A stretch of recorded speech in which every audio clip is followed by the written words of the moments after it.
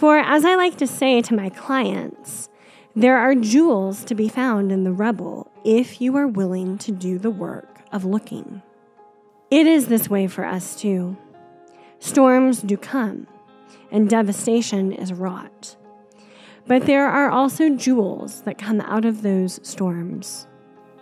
Sometimes it is the jewel of finding your way back home, your way back to your original place, to your heart.